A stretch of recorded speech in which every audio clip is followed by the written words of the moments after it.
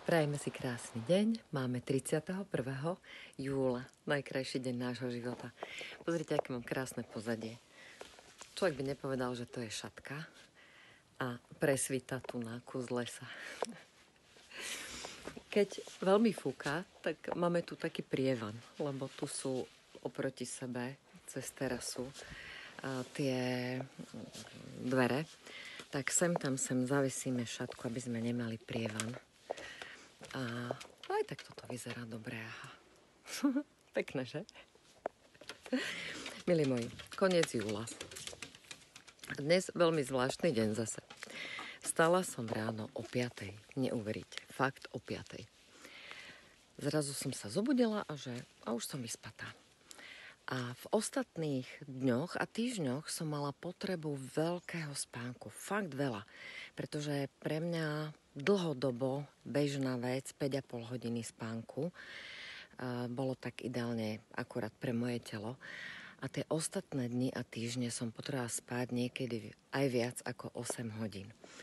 A zrazu ako keby predsaklo a nejak to telo sa dovibrovalo, dosítilo, alebo neviem čo a vrátilo sa do toho nejakého takého pôvodného nastavenia.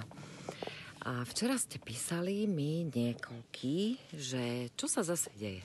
Hm, otvorila sa levia brána. Takže pôsobí to rôzne na každého.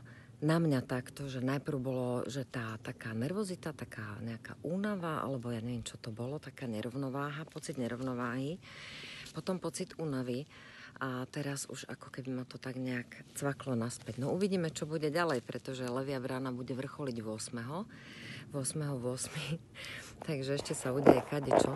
Ale už každopádne tie vrátka sú otvorené. No a viete, ako keď sa otvoria vrátka, to je jak tuto my, e, keď e, nám tam začne, keď je otvorené, keď vyťahneme tú fóliu, začne tak prefúkovať. Vieš, keď otvoríš vrátka, tak taký až prievan sa niekedy môže vytvoriť. No tak to bolo to, keď sa začínala otvárať tá brána.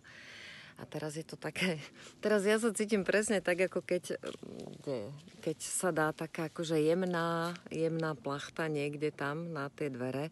Presne takto vnímam tú leviu bránu teraz, že ona je síce už otvorená, už sa dá cez ňu prechádzať, už tam tá energia prúdi, ale je tam taký nejaký čiastočne závoj. No a uvidíme, že keď sa to otvorí celé. Každopádne je to energia zhmotňovania.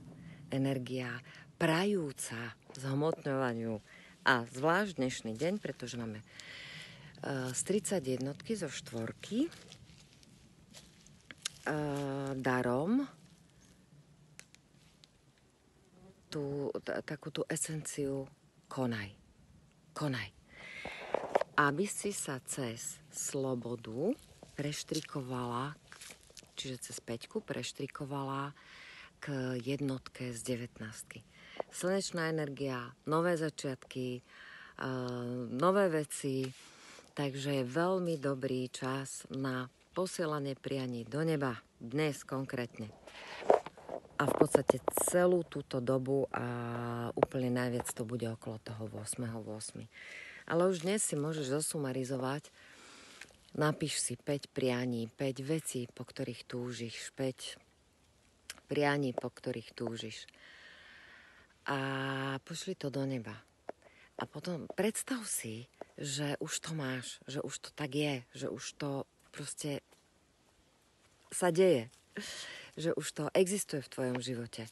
Predstav si, ako sa v tom cítiš. Vnímaj emociu, vnímaj, ako ti v tom je.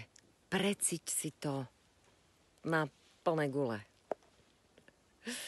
No a keď to z toho pocitu precítenia pošleš tam hore, tak sa deje a zhmotňuje veľmi rýchlo. To je taký ten, to je taký ten základný princíp toho zhmotňovania tak môžeš trénovať, môžeš to už dnes urobiť, poslať a počas nasledujúcich, nasledujúceho týždňa, povedzme, ešte niekoľkokrát. Možno, možno aj nebude treba, pretože sa stihne zmotniť dovtedy. a dnes do polnoci je možnosť ešte prihlásiť sa do kurzu telo. Posledné upozornenie. Zajtra začíname.